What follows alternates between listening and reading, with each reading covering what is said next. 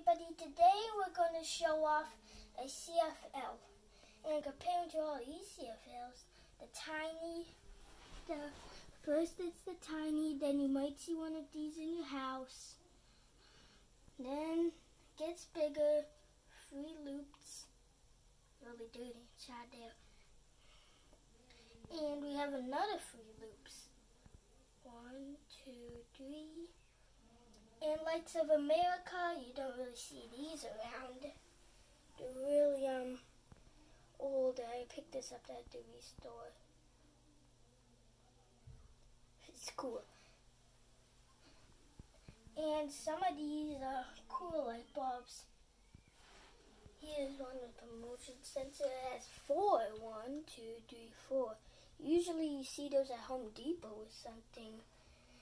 It like has four, it's really big. Then here's a photo like bulb. One, two, three, four, connected. I like this one. And some of these are just for gyms or stuff like hanging on the ceiling, just for decoration. But I have this one over here. This one ginormous CFL that a dad gave me. Wow, this thing is huge. The tube is a bit wobbly. I'm sure it has been hanged upside down. It's biggest CFL in my collection. It's not even a Kirby compact. Look how thick these tubes are. Wow, this is nice. They like at a million LEDs, so I'm just saying they were saving this. Pairing to this one over here. Usually this one says Papa, Papa, because the Papa's the big one, right? And then you notice has mercury in it. Look at the size of this ballast.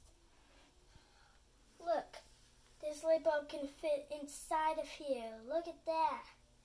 This one I got from Taiwan. It's 5 watt says right on there.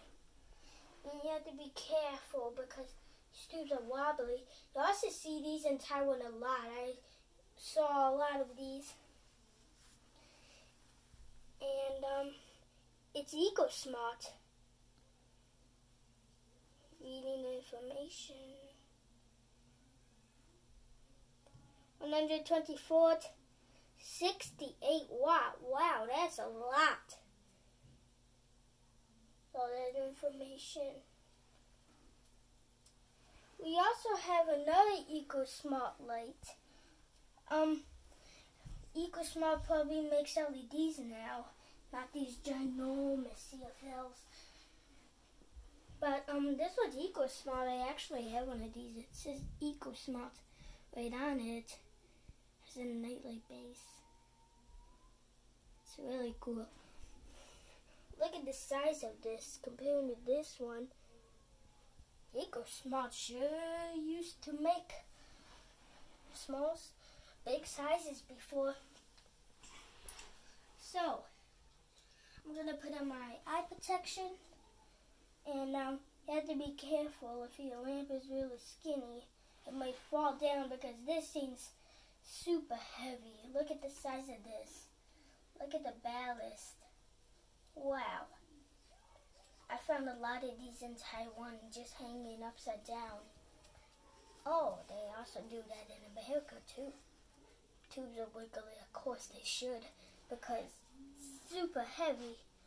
120 volts, 68 watt, and going to put on my eye protection, and turn it on. Wow. Jeez Louisa. That's really, really bright. It got a bit of usage on these ends. Usage. Um, it's a bit, it's a bit dirty. Blech. Inside it's really dirty. Looks like it got water splats on it. It takes a little bit of time to warm up sometimes. If your lamp is low wattage, it take a long time to warm up, which is kind of bad if it's a low wattage. 68 watt. Look at that. Look how thick these tubes are. Yeah, it gets hot really fast. The whole thing's hot now. Really big electrodes for it to power this thing. Whoa, a lot of heat. A lot of heat coming from it. It off.